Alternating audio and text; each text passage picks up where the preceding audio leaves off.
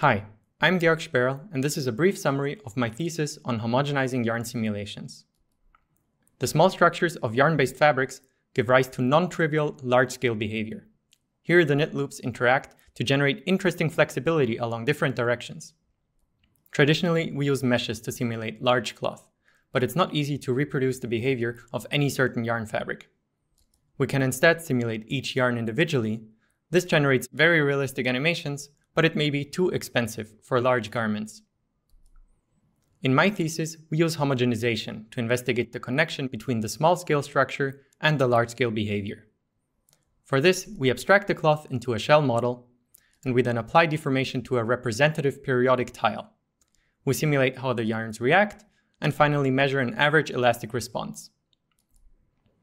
This approach helped us address several interesting open questions, and together with my brilliant collaborators, we published our findings at SIGGRAPH. We first wanted to learn elastic energies that reproduce the large-scale behavior of yarn fabric. For this, we run small simulations for a range of deformations and then use regularized splines to fit a smooth energy to this data. Compared to direct yarn simulation on the left, our homogenized materials on the right are able to reproduce the distinct draped shapes of different fabrics. They also match interesting effects such as area preservation or even curling. Our method now easily scales these yarn models to large garments where direct yarn simulation is too expensive. While we match the overall elasticity of the fabric, the examples lacked some of the beautiful yarn detail. To solve this, we pre-compute displacements from our periodic simulations, and we then interpolate them based on the mesh deformation which adds important features such as yarns tightening under tension. In this example, our method reproduces the ribs flattening, which is missing in the naive approach. This method is real-time, and so we can interactively pull a sock over a foot.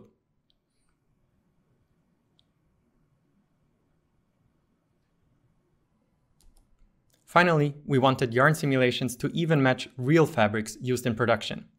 We compiled and released a dataset that includes yarn composition and physical fabric measurements.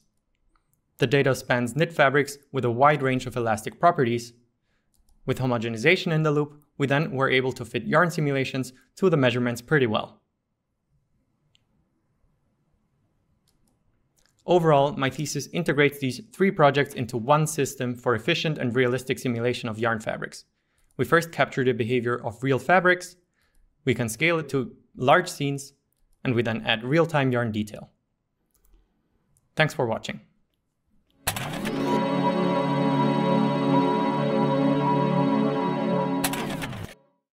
Hello, I'm Jessica Baron. My thesis focuses on measuring and modeling the unique and varying light scattering of feathers for rendering. My efforts so far center on the development of a novel system for material capture especially suited for spatially varying bidirectional scattering distribution functions, or SVBSDFs, necessary for modeling feather appearance. The system is a variable illumination sphere with hundreds of LED lights, multiple cameras, and a custom built stage for orienting material samples.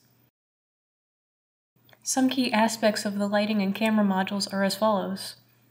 The lights are highly controllable through code, enabling pattern and environment illumination. There are polarizing filters for acquiring estimates of diffuse and specular responses. The recorded images and lights are spectrally calibrated, and each capture is raw, exposure bracketed, and processed as a high dynamic range or HDR image. The system is suited for SVBSDF capture in particular due to having detailed angular coverage and lighting and viewing directions with little obstruction because of the stage design, which is necessary for appearance capture, having a photograph-based approach that provides per pixel material data, and registering spatial location across sample surfaces with the aid of tracking the sample holder, which is enhanced potentially by the use of normal maps and multi-view stereo. As for data acquisition, I have a collection of specimens across the avian taxonomy as a representative sample of feather variation in modern birds. Note the detail and variety in structure and appearance.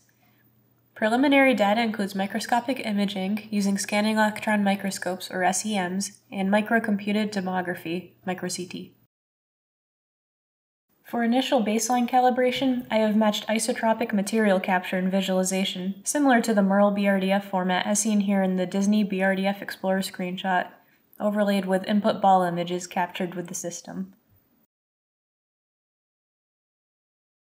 Spatial calibration workflows are in progress before acquiring complex multi-scale data. Here is an example of capture data of a magpie feather at different incident and viewing directions. As the spatially calibrated workflow is finalized, a light scattering database from the samples will be collected and published. Following that, initial melanistic reflection models will be developed and tested, succeeded by research on structurally colored feathers which require wave optics models.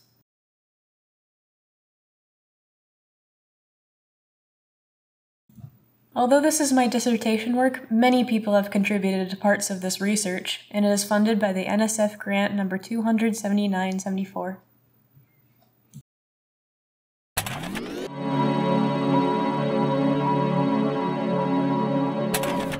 Hello, my name is Felix Hähnlein and my PhD is about binary optimization for the analysis and synthesis of concept sketches. In the industrial design workflow, sketching is used as a tool for ideation. Once the designer is satisfied with an idea, they draw a concept sketch, which features construction lines to achieve perspective accuracy. This concept sketch serves as a reference for 3D modeling. However, 3D modeling is time consuming and it requires special skills. In this thesis, we study how to automate part of this process. To better understand concept sketches, we follow the approach of analysis and synthesis, according to which we can gain further insights by both reconstructing and synthesizing concept sketches. Both analysis and synthesis are challenging. The reconstruction of 2D sketches into 3D is under constraint, since the 2D stroke can have multiple valid 3D interpretations. The synthesis of concept sketches is also challenging, since we can obtain several valid sketches for the same 3D model. To overcome these under-constraint problems, we studied how professional designers use efficient sketching techniques to construct 3D shapes in perspective. We distilled our observations from textbooks, videos, and sketch datasets into design principles which lay the foundation of our algorithms. We proposed two sketch analysis methods which are based on stroke interaction principles. Designers use previously drawn lines to anchor a new stroke with intersections. Anchoring intersections often lie at the end of strokes and can be of high valence. Reflective symmetry is often used as a shape prior to easily convey the geometry of 3D strokes. However, we don't know in advance which 2D strokes form 3D intersections, nor which strokes form symmetry correspondences. Our method tackles these challenges by solving a binary optimization problem where we optimize for the stroke interaction variables, which yield the most symmetric and well-connected 3D sketch. The objective function covers several other design principles, and the constraints formulate the interactions of 3D strokes. Our sketch synthesis method is centered around the observation that designers construct shapes on paper much like they would do in 3D CAD modeling.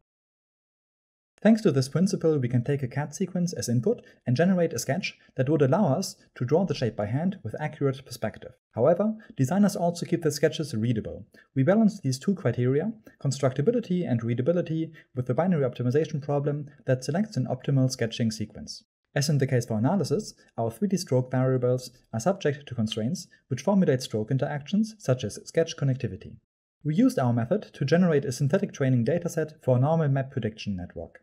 In conclusion, we have seen that both the forward and the inverse problem share common principles about the quality assessment of 3D sketches. They also employ the same computational backbone, binary optimization problems, which we formulated into integer programs. We are also excited about the future, and we see this work as a step towards closing the cycle between sketch analysis and sketch synthesis.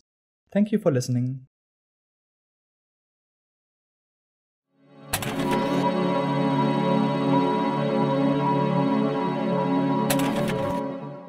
I'm Zeyu Wang, and my thesis focuses on enhancing the creative process in digital prototyping. Digital content has become ubiquitous, Artists can draw sketches and create an animation from a series of drawings. People can also record videos and port virtual objects in real-world captures. However, digital content creation can be tedious and costly due to the unintuitive experience with current tools. My thesis aims to support content creation with new tools that provide an accessible and intuitive prototyping experience. We achieve this by understanding the creative process and leveraging the spatial context in which people create digital content. We first look into the drawing process, as drawing is a fundamental medium for conveying visual ideas. We collected the drawing dataset and conducted a spatial temporal analysis, which provided insight into how people trace and draw and how they differ from computer generated approximations. We found current NPR and image processing results only capture about 60% of drawn pixels on average, highlighting the gap between drawings created by computers and artists.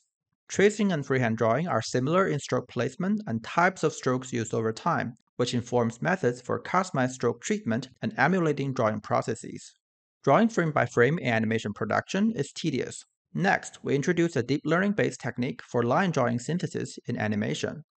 Given a sequence of 3D models and user created keyframe drawings, our system can generate drawings at all other frames in a style consistent with user input. The learned style space is disentangled from the underlying geometry, enabling smooth style interpolation on static and dynamic frames. With our system, animators only need to draw keyframe sketches in red boxes and can get the best of both worlds, that is, user controlled synthesis. In another popular creative medium, augmented reality, we demonstrate the importance of utilizing spatial context through two tablet based interfaces. DistanciAR enables designers in lockdown to create AR experiences for remote environments. Another can create an AR experience for a LiDAR scanned environment from another location using AR interactions. A remote viewer can then consume the AR content on site.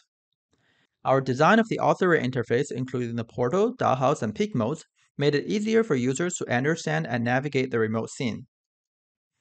PointShop AR integrates point cloud capture and editing in a single AR workflow to help users quickly prototype design ideas in their spatial context.